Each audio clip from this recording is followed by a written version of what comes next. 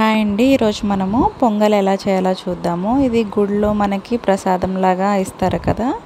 అలాగే నైవేద్యం కింద కూడా మనం పెట్టుకోవచ్చు. దీనికోసం మనము ఒక గ్లాసులో పావు వంతు పెసరపప్పు మూడు వంతులు బియ్యం తీసుకోవాలి. ఒక గ్లాస్ తీసుకున్నాను కాబట్టి రెండు గ్లాసులంతా వాటర్ యాడ్ చేసుకున్నాను. అలాగే ఉప్పు కూడా యాడ్ చేసుకుని కుక్కర్ ఆన్ చేసుకున్నాను నేను.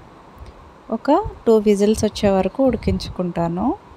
కొంతమంది దీన్ని జారుగా కూడా చేసుకుంటారు. అప్పుడు ఇంకొంచెం ఎక్కువ వాటర్ యాడ్ చేసుకోవాల్సి ఉంటుంది. కిచడీలాగా కొంచెం జారుగా కూడా చేస్తారు. నేను మాత్రం కొంచెం పొడి పొడిలా ఆడేలాగా చేస్తున్నాను. ఇప్పుడు దీనికి మనం తాలింపు వేసుకోవాలి. తాలింపు కోసం మనము కొంచెము ఆయిల్ తీసుకుని అందులో శనగపప్పు మినగపప్పు ఆవాలు జీలకర్ర కొన్ని జీడిపప్పులు కరివేపాకు పచ్చిమిర్చి ఇంకా ఎండుమిర్చి కూడా యాడ్ చేసుకున్నాను. మీకు ఇంగువ ఇష్టం ఉంటే ఇంగువ కూడా యాడ్ చేసుకోండి. అలాగే మిరియాల పొడి కూడా యాడ్ చేసుకోవాలి. దానికోసం మిరియాలు దంచి పొడి చేసి పెట్టుకోండి.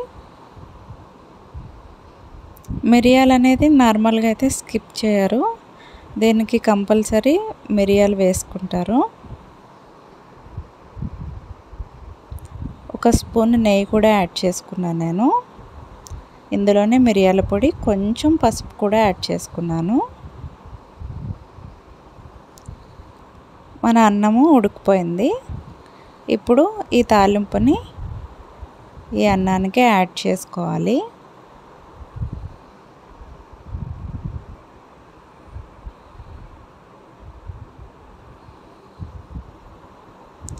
ఈ తాలింపు మొత్తం రైస్కి పట్టే వరకు కలుపుకోవాలి మనము. ఈ కుక్కర్లో ప్లేస్ లేదు కాబట్టి నేను వేరే గిన్నెలోకి తీసుకున్నాను.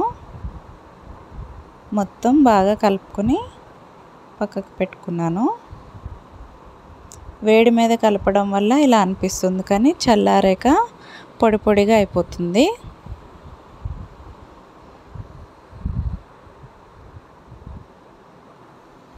అంతేనండి. రెడీ అయిపోయింది. ఇది మనం ప్రసాదాల్లాగా దేవుడికి పెట్టుకోవచ్చు. నార్మల్గా అయితే అమ్మవారికి కానీ రాముడికి కానీ ప్రసాదంలో పెట్టుకుంటాం ఇది. ఇప్పుడు మనము పానకం ఎలా చేయాలో చూద్దాము. శ్రీరామనవమికి కానీ హనుమాన్ జయంతికి కానీ పానకం పెడుతుంటాం కదా. అది ఎలా చేయాలో చూద్దాము. ఫస్ట్ ఒక గిన్నెలో బెల్లాన్ని దంచి యాడ్ చేసుకున్నాను. దీంట్లో కొంచెం మిరియాల పొడి కొంచెం యాలకుల పొడి యాడ్ చేసుకున్నాను. అలాగే నాలుగు ఆకులు తులసాకులు వేసుకోండి. కొంచెం చిదిమి వేసుకోండి. ఇదంతా బాగా కలుపుకొని ఇందులోనే మనం కొంచెం వాటర్ యాడ్ చేసుకోవాలి.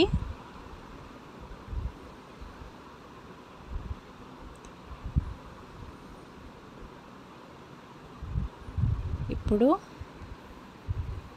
బెల్లం మొత్తం కరిగిపోయిన వరకు వాటర్లో ఉంచుకోవాలన్నమాట మనము.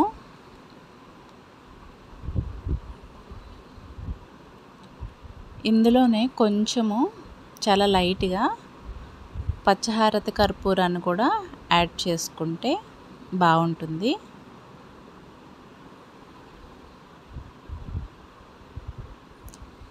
చాలా కొంచెం క్వాంటిటీలో తీసుకోండి అది ఎక్కువగా అవసరం లేదు. ఇదిగో చూపించినంత యాడ్ చేసుకోండి.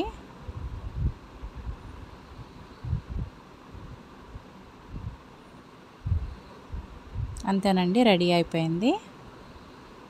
ఇలాంటి రెసిపీస్ కోసం నా ఛానల్ని సబ్స్క్రైబ్ చేసుకోండి.